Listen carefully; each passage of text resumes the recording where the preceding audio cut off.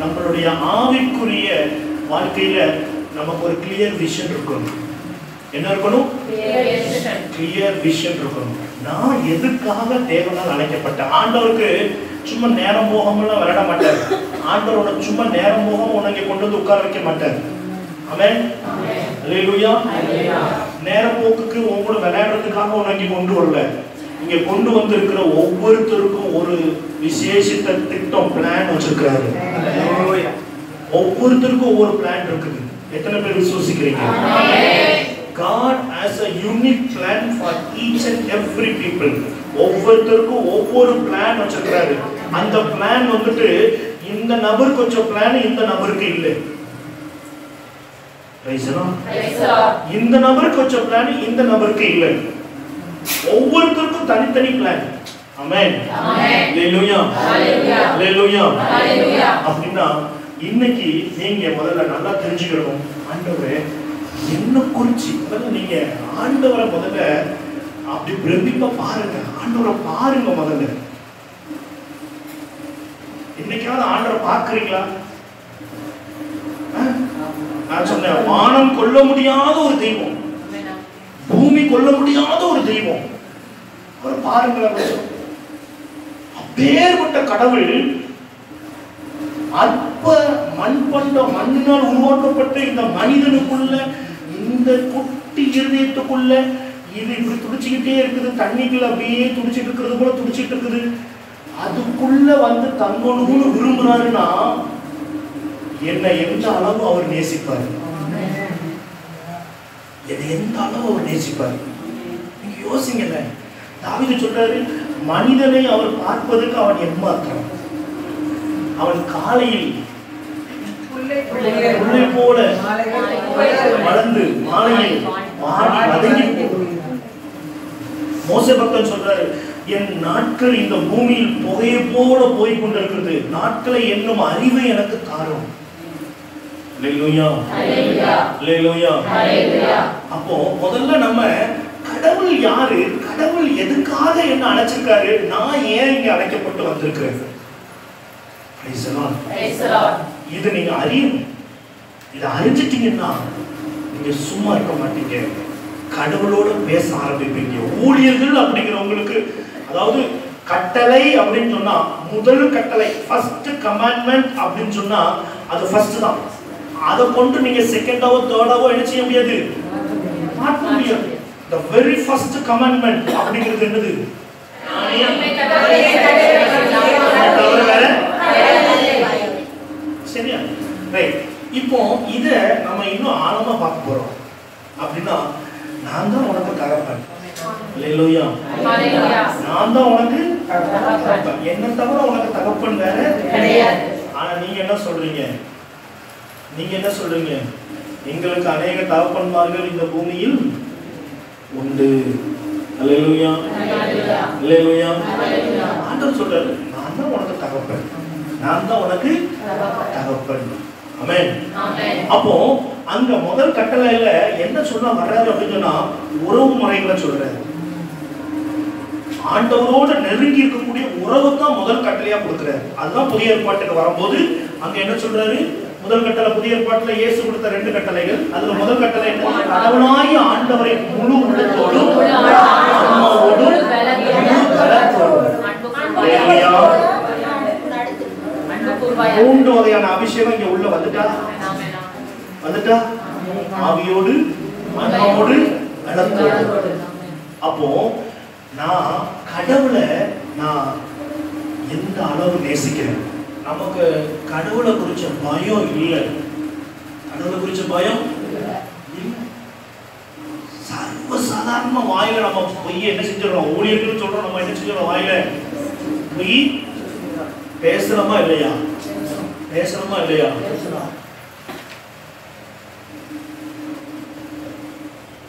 ஆண்டவர் மன்னிங்காரு ஐயா அம்மான்னு அழுகுறோம். ஆனா செயல்ல காட்டுறோமா? செயல்ல காட்ட மாட்டேங்கிறோம். அப்போ உன் பாவம் மன்னிக்கப்பட்டிருக்குமா? மன்னிக்கப்படாது Praise the Lord. நான் கற்றுக்கிட்டது பதினெட்டு வருஷத்துக்கு நான் கற்றுக்கிட்டது நிறைய போராட்டங்கள் உண்டு நிறைய அடிகள் உண்டு நிறைய உண்டு. ஆனால் அப்பாவோட சமூகத்துக்கு வரும்போது எல்லாத்தையும் தூக்கி போட்டுட்டு அவரை மட்டும்தான் பார்ப்பேன். அந்த மனநிலைக்குள்ள நம்ம கத்துக்கிட்டோம் அந்த மனநிலையை நம்ம படிச்சுக்கிட்டோம்னா நம்ம மேல இருக்கிற அபிஷேகம் வல்லமையா கன்வெர்ட் ஆகி வெளியே வரும். நிறைய பேர் இங்க இருக்கிறீங்க. நீங்க நிறைய நேரங்கள்ல ஆவியில தொடங்கி மாம்சத்துல முடக்கப்பட்டு இருக்கிறீங்க ஆவியாருக்கு விட்டு கொடுக்கறதுக்கு உங்களுக்கு மனசு இல்லை. நீங்க உங்க மேல ஒரு கீழ்காற்று வீசும். அந்த கீழ்காற்று வரும்போது நீங்க என்ன ஆவீங்க தெரியுமா? என்ன ஆவீங்க தெரியுமா? ஆ? மெய் மறப்பீங்க. நீங்க என்ன ஆவீங்க? மெய் மறந்தல் இல்லை அப்படின்னா சின்ன பிள்ளையில சின்ன பிள்ளையில என்ன செய்வாங்க அப்படின்னு சொன்னா இங்க வா அப்படின்னு சொல்லி கூப்பிடுவாங்க. கூப்பிட்டுட்டு கண்ணை மூடிட்டு அப்படியே சுத்தி விடுவாங்க. பார்த்திருக்கீங்களா? சுத்தி விட்டுருவாங்க. சுத்தி விட்ட உடனே நம்ம எங்க நிக்கணும் நமக்கே தெரியாது. இதுக்கு பிரசங்கம் பண்ணிட்டு இருக்கிறேன் நான் ஆவியில நிரம்பும் போது நான் மெய் மறந்துடுவேன். எங்க நிக்கிறேன் என்ன பண்றேன் எதுவும் தெரியாது. ஆனா என் உள்ளம் எங்க இருக்கும் அப்படின்னு சொன்னா இன்ப இயேசு ராஜாவை நான் பார்த்தால் போதும். மகிமையில் அவரோடு நான் சேர்ந்தால் போதும். அப்படி ஆயிருவேன் அவரை மட்டும் நான் பார்ப்பேன் அந்த பொன்முகத்தை பார்த்துக்கிட்டு இருப்பேன். எனக்கு அப்போ இந்த பூமியில இருக்கிறவங்க பக்கத்துல இருக்கிறவங்க யாரே தெரியாது.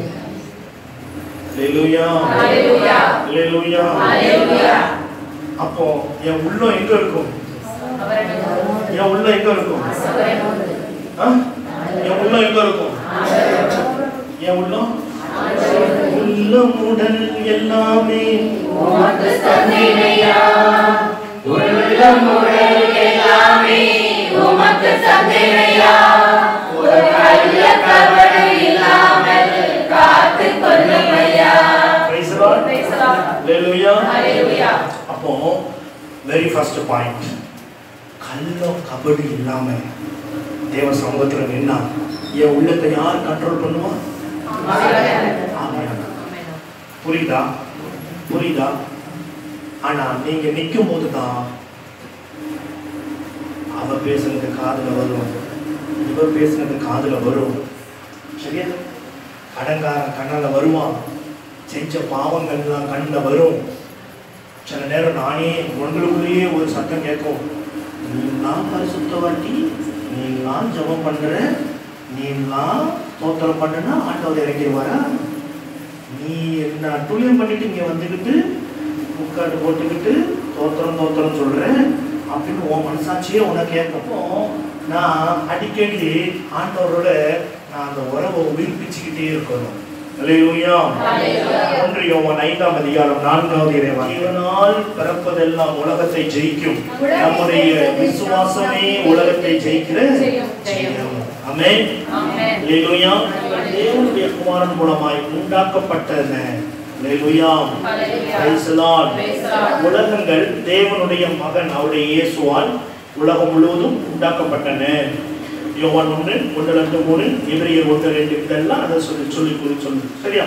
சரி இவ்விதமாய் காணப்படுகிறவைகள் தோண்டப்படுகிறவைகளால் உண்டாக்கப்படவில்லை என்று அறிந்திருக்கிறோம்.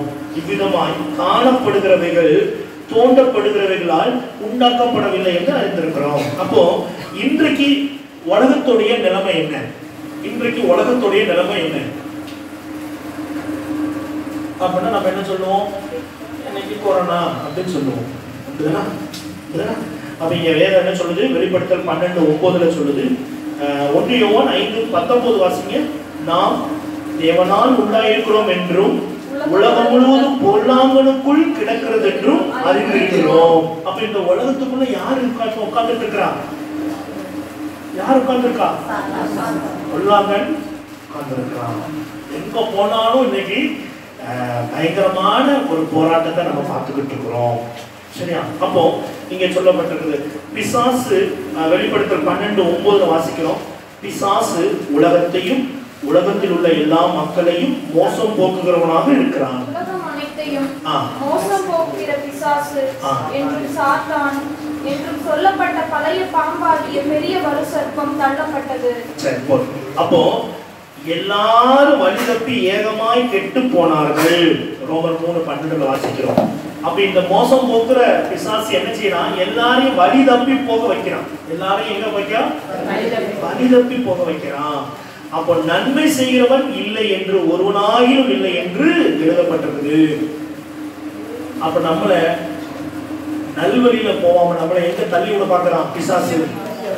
தீய வழியில போக பார்க்கலாம் அப்போ நமக்கு தெரியுமா? நம்ம தீய வழியில போறோமா நல்ல வழியில போறோமா? நமக்கு தெரியுமா? எத்தனை பேருக்கு தெரியும்? நான் நல்ல வழியில போறேன் இல்ல தீய வழியில போறேன்னு எத்தனை பேருக்கு தெரியும்? சரி அப்ப வேதம் என்ன சொல்லுது? மனுஷனுக்கு எதெல்லாம் நல்லதுன்னு தோணுதோ அதெல்லாம் அழுக்கான கந்தை அப்படின்னு சொல்லப்பட்டிருக்கு. மனுஷனுக்கு எதெல்லாம் நீதியா தெரியுதோ உண்மையான பாதையா தெரியுதோ அதெல்லாம் என் பார்வையில அழுக்கான கந்தை. அப்ப இப்ப சொல்லுங்க. இப்ப சொல்லுங்க. அப்போ எனக்கு தெரிகிறது எல்லாம் நான் வந்து என்ன செஞ்சுக்கலாம் எனக்கு நல்லதாக தோணும் ஆனால் முடிவு வரணும். அப்படின்னா நான் நல்ல வழியில் போகணும் நேர் வழியில் போகணும் அப்படின்னு சொன்னால் ஒரே வழிதான் இருக்குது. அந்த வழி என்னன்னா பரிசுத்த ஆவியானவரை கரம் பிடித்து அவரோடு இணைந்து வாழ்றதுதான் இந்த உலகத்தில் ஒரே ஒரு வழி. அவரை நீங்கள் கரம் பிடிச்சு அவரோட நீங்கள் இணைஞ்சு இருந்தீங்கன்னா அவர் உங்களை சரியான வழியில் நடத்துவார். அப்போ இப்படிப்பட்ட ஒரு சூழ்நிலையில தேவன் உலகத்தை அன்பு கூர்ந்தார். நான் சொன்னேன் ஆண்டவர் பல தீர்க்கதரிசிகளை அனுப்பிக்கிட்டே இருக்கிறார். அப்போ தேவனுடைய பிள்ளைகள் மீது ஆண்டவர் என்ன செய்யறாரு ரொம்ப அன்பு வச்சிருக்காரு. அதனால தீர்க்கதரிசிகளை அனுப்புறாரு. யார் அனுப்புறாரு? ப்ராஃபட்ஸ் அனுப்புறாரு. ப்ராஃபட்ஸ் வர்றாங்க. எரேமியா தானியேல் இறைவாக்கினர்கள் வர்றாங்க. ப்ராஃபட்ஸ் வர்றாங்க. இந்த ப்ராஃபட்ஸ் எல்லாம் வந்தாலும் நாய்வால நிறுத்த முடியுமா? முடியாது. இது ஆண்டவருக்கு தெரியும். நானூறு வருடம் ஆண்டவர் எந்த இறைவாக்கினர்களையும் அனுப்பல. அது வந்து உலகத்துல இருண்ட வருடங்கள். ஆனா பிதாவாகிய சர்வேஸ்வரனுக்கு ஒரு ஏக்கம் இருந்துகிட்டே இருக்குது. பிதாவாகிய சர்வேஸ்வரன் வந்து பிள்ளைங்களோட பார்க்கணும் பிள்ளைங்களோட உறவாடணும் பிள்ளைங்களோட பேசணுங்கிறத அதிகமா விரும்புவார். அதனால அவரால் அங்க இருக்கவே முடியல. அப்பந்தான் அவர் ஒரு தீர்மானம் பண்ணினார். சர்வ சங்கத்துல ஒரு தீர்மானம் எடுக்கிறாங்க. யோவான் மூணாம் அதிகாரம் பதினாறாவது இறைவார்த்தையில அந்த வேத வசனங்கள் பதினாறு பதினேழு வாசி. தன் ஒரே மகன் மீது அன்பு கூர்ந்து அழியாமல் நிலை வாழ்வை பெரும் பொருட்டு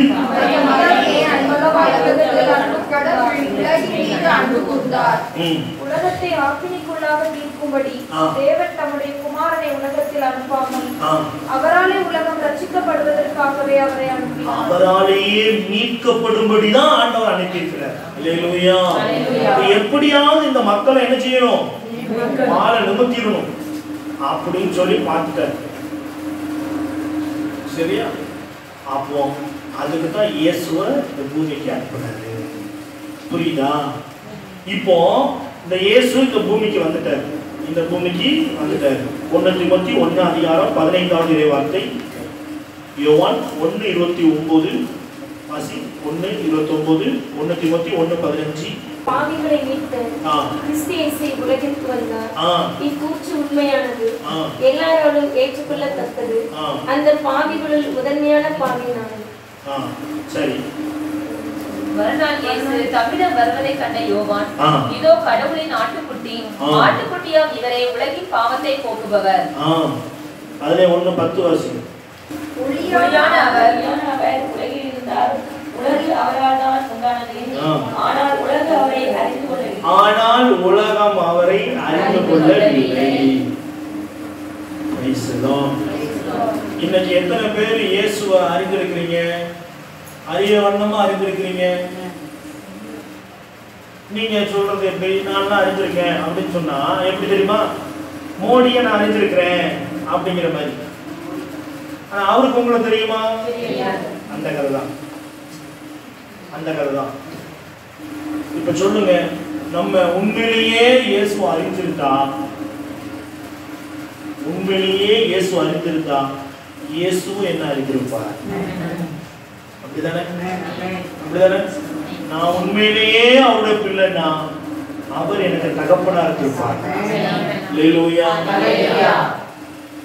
அப்ப நான் அவரை அறிகிற வண்ணமா அறிகிறதுல முன்னேறி செல்லணும். அவரை அறிகிற அறிவுல நான் இன்னும் முன்னேறணும். ஒவ்வொரு வருடமும் ஒவ்வொரு நாட்களும் இயேசுவை அறிகிற அறிவுல நான் வளரணும். ஆனா அது சுலபம் இல்லை. அதுக்கு மத்தியில நீங்க நல்லா புரிஞ்சுக்கிறீங்க நம்ம இந்த உலகத்துல டெம்பரரியா தான் இருக்க போறோம். நம்ம இந்த உலகத்துல ஒரு எண்பது வருஷம் வச்சுக்கிறோமா? அப்படி சொன்னோம். ஆனா இப்போ அதுவும் குறைஞ்சிட்டு போயிட்டு. இப்போ கொரோனாவுக்கு பின் கொரோனாவுக்கு முன் வந்துட்டு இப்போ வந்துட்டு கொரோனா வந்தா பதினாறு நாள். அப்படி ஆயிட்டு புரியுதா? ஆ? அப்போ நம்ம வாழ்க்கையில நம்ம இருக்கக்கூடிய இந்த நாட்கள்ல நம்ம எவ்வளவு நாட்கள் ஆண்டவரை அழியறதுக்கு செலவிட போறோம்? ஒரு ரஃப் ஒரு கால்குலேஷன் போடுங்களேன். நீங்க எத்தனை கால்குலேஷன் போட்டிருப்பீங்க? எந்த பேங்க்ல எத்தனை எஃப்டி எவ்வளவு பர்சன்டேஜ் இவ்வளோக்கு வட்டிக்கு கொடுத்தா இவ்வளவு பர்சன்டேஜ் வரும். அவளுக்கு வட்டிக்கு கொடுத்தா இவ்வளவு பர்சன்டேஜ் வரும். எல்லாம் போட்டிருப்பீங்கல்ல? இப்போ உங்க வாழ்க்கையை குறித்து ஒரு கால்குலேஷன் போடுங்க. எத்தனை வருஷம் நீங்க முடிச்சிட்டீங்க? இத்தனை நாட்களும் நீங்க இந்த பூமியில பிறந்து இவ்வளவு நாள் டில் டேட் வரை நீங்க என்ன செஞ்சிட்டீங்க முடிச்சிட்டீங்க. சரியா? இந்த வருஷத்துல கடவுளை நீங்க எவ்வளவு அறிவிச்சீங்க இந்த இந்த வாழ்க்கையில என்னுடைய வாழ்க்கை வந்து ஒரு பானா வடிவம் மாதிரி தான் மேல இருந்து ஆண்டவர் என்ன ஒரு தாய் வயிற்றுல என்ன உருவாக்குனாரு? இந்த வருடங்கள். இது எழுபது வருடமோ எண்பது வருடமோ எத்தனை வருடமோ எனக்கு தெரியாது. இதுதான் இந்த லைஃப் ஸ்பேன் இந்த லைஃப் ஸ்பேன் முடியும் போது மறுபடியும் நான் எங்க வந்தனோ அங்கேயே மறுபடியும் Lord. இப்போ சொல்லுங்க இந்த லைஃப் ஸ்பேனுக்குள்ள நம்ம கடவுளை அறிகிற வண்ணமா அறிஞ்சா மட்டும்தான் மேல போன பிறகு நித்தியத்துக்குள்ள இருக்குமோ இங்க எண்பது வருஷம் அங்க ஆயிரத்துக்கும் ஆயிரத்துக்கும் ஆயிரத்துக்கும் ஆயிரத்துக்கும் நித்தியம். எத்தனை பேருக்கு புரிஞ்சுது இங்கே நம்ம என்னெல்லாம் பண்ணிட்டு இருக்கோம்? இங்க என்னெல்லாம் பண்றோம்? இதுல ஒரு குத்துறோம் இங்க குத்துறோம் இங்க குத்துறோம் இங்க குத்துறோம். எங்கெல்லாமோ குத்தி குத்தி தங்கத்தெல்லாம் போட்டுக்கிறோம். ஆனா நமக்கு அறிவே இல்லை நம்ம அப்பா தங்க வீதியில நம்மளை நடக்கவே வைக்க போறாரு.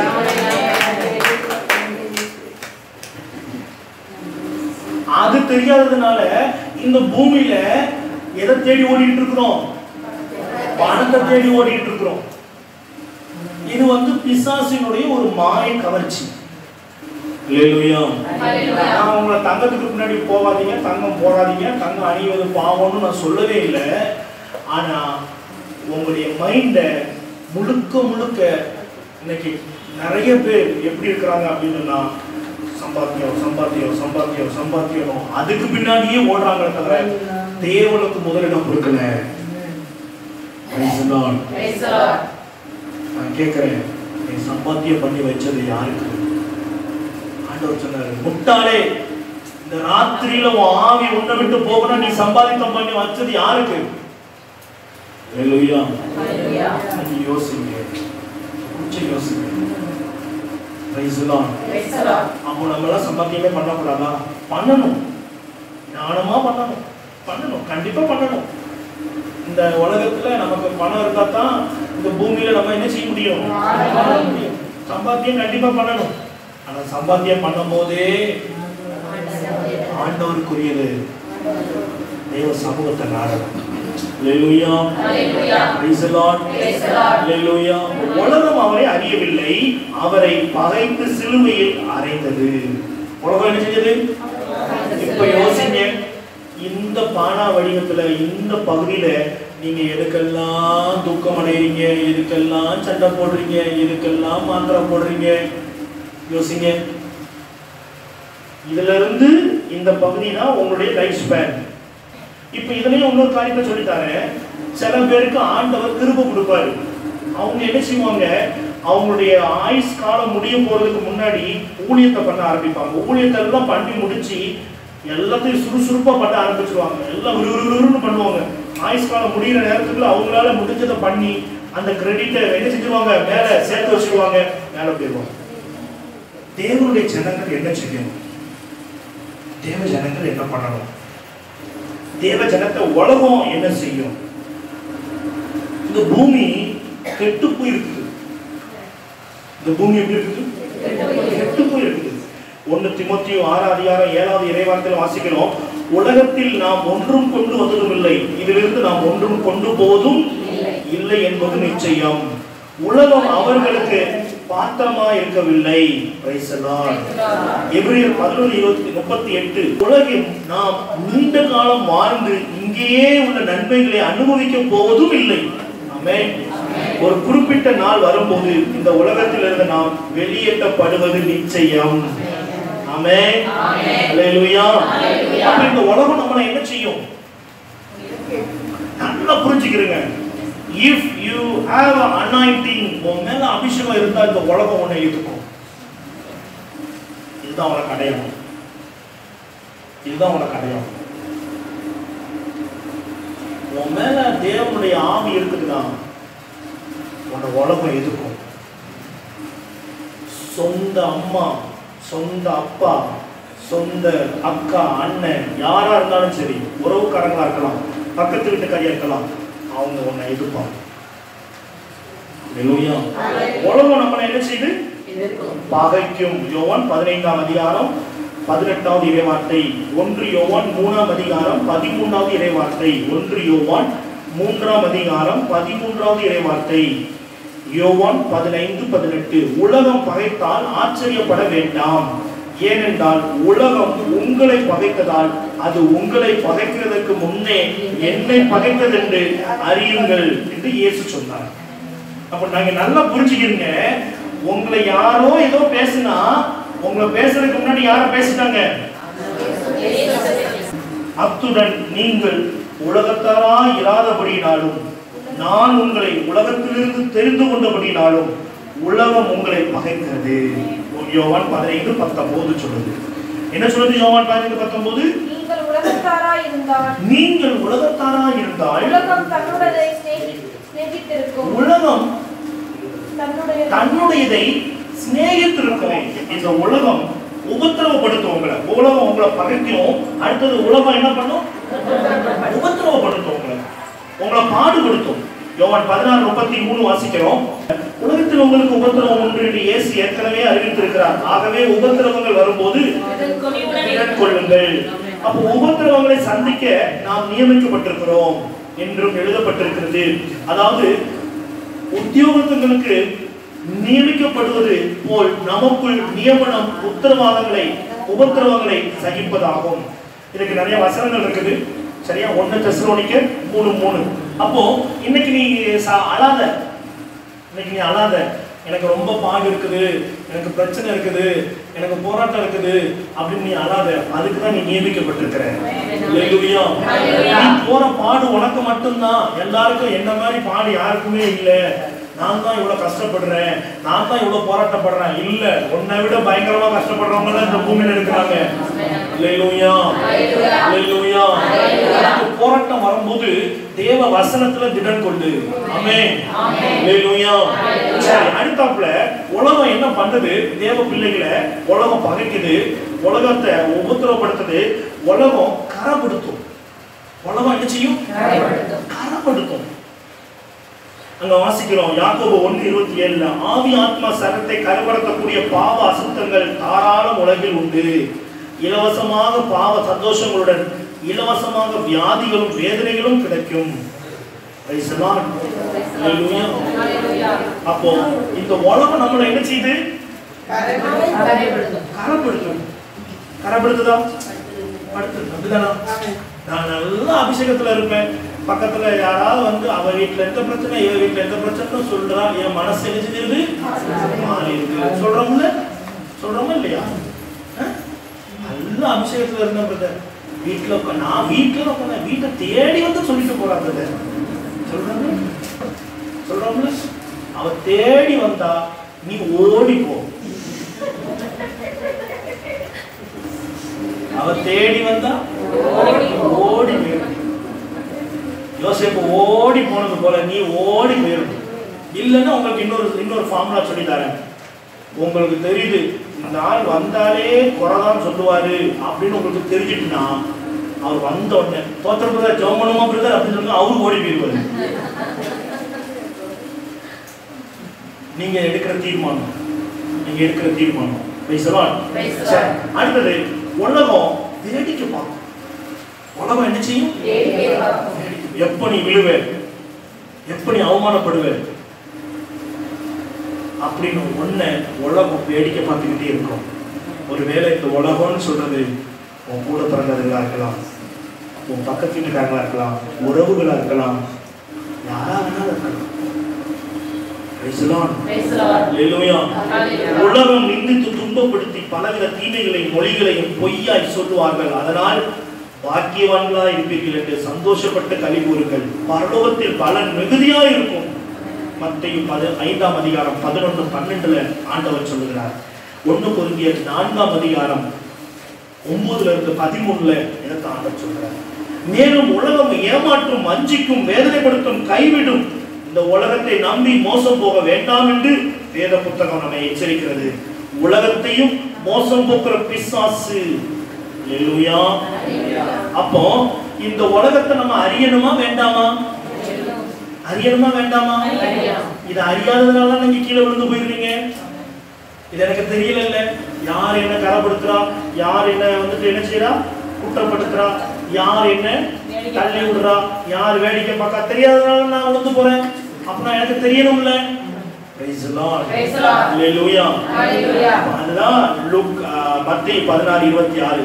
மனுஷன் உலகம் முழுவதையும் ஆதாயப்படுத்திக் கொண்டாலும் தன் ஜீவனை நஷ்டப்படுத்தினால் அவனுக்கு லாபம் என்ன? மனுஷன் தன் ஜீவனுக்கு ஈடாக என்னதை கொடுப்பான்? சரி இப்போ இதோட உலகம் உங்களை என்ன பண்ணுது அப்படிங்கறத நான் சொல்லிட்டேன். ஆவிக்குரியவர்கள் நீங்க எல்லாம் நீங்க எல்லாம் உபவாசத்துல இருக்கிறீங்க ஆண்டவரோட இருக்கணும்னு வைராக்கியமா இருக்கிறீங்க ஜபம் பண்றீங்க ஒருத்தல் பண்றீங்க வல்லமையா இருக்கணும்னு விரும்புறீங்க ஆண்டவருக்காக ஊழியம் பண்ணணும்னு விரும்புறீங்க உங்களுக்கு போராட்டம் இருக்குது பிரச்சனை இருக்குது அதுக்கு மத்தியிலையும் ஆண்டவருக்காக நான் வாழணும் அப்படிங்கிற ஒரு எண்ணத்தோட நீங்க இருக்கிறீங்க அப்படின்னு சொன்னா தேவ ஜனங்கள் உலகத்தோட தேவ ஜனங்களுக்கு உறவு எப்படி இருக்கணும்? உலகத்தோட நம்ம எப்படி இருக்கணுங்கிறது தெரிஞ்சுக்கிட்டா நீங்க விழவே மாட்டீங்க. வேலையில உங்களுக்கு மறுபடியும் ஒரு சந்தர்ப்பத்தை கொடுக்கிறார் கிருபையின் வாசல் திறக்கப்பட்டிருக்கிறது. கிருபையின் வாசல் திறக்கப்பட்டிருக்கிறது. இயேசுவினுடைய தழும்புகள் இயேசுவின் தழும்புகள் உங்களுக்காய் காத்திருக்கிறது. அந்த தழும்புகளை பாருங்க. அந்த தழும்புகளை பாருங்க. அடிக்கப்பட்ட ஆட்டுக்குட்டிய பாருங்க. முள்முடிய பாருங்க. மறுபடியும் ஒரு சந்தர்ப்பம். உனக்குள் இருக்கிற எல்லா பலவீனங்கள் இயேசுவின் நாமத்தில் வெளியே வருவதாக. போதும் வாழ்விலே ஏசையா நீர் போ என் வாழ்விலே. நீர் போதும் என் வாழ்விலே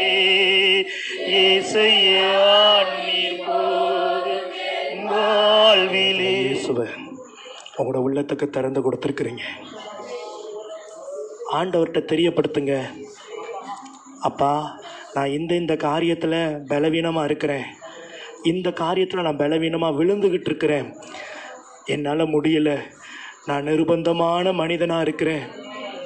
நன்மை தான் செய்யணும்னு விரும்புகிறேன் பரிசுத்தமாக வாழணும்னு விரும்புகிறேன் உமக்கா ஓடணும்னு விரும்புகிறேன் ஆனால் என் உள்ளமும் என் சரீரமும் எனக்கு துணையாக வர மாட்டேங்குது என்னுடைய எண்ணங்களும் என்னுடைய சரீரமும் எனக்கு உமோட இணைந்து ஓடுறதுக்கு வர மாட்டேங்குது நான் உமோட இணைந்து வாழ விரும்புகிறேன் ஆண்டவரே என்னைக்கு ஒப்பு கொடுங்களேன் இன்னைக்கு ஒப்பு கொடுங்களேன் எல்லாத்தையும் மறந்துடுங்க எல்லாத்தையும் மறந்துடுங்க இயேசு மட்டும் போதும். இயேசு மட்டும் போதும். இயேசு மட்டும் போதும். என் வாழ்க்கையில் இயேசு மட்டும் போதும். இயேசு மட்டும் போதும். தேங்க்யூ லார்ட் எங்களை தாழ்த்தி வெறுமையாக்கி ஒப்பு கொடுக்குறோம் இயேசுவின் நாமத்தில் ஜெபிக்கிறோம். நல்ல பிதாவே. ஆமென் ஆமென் முதல் காரியம் உலகத்திலையும் உலகத்தில் உள்ளவைகளிலும் அன்பு கூறக்கூடாது. இது கொஞ்சம் ஆழமா நம்ம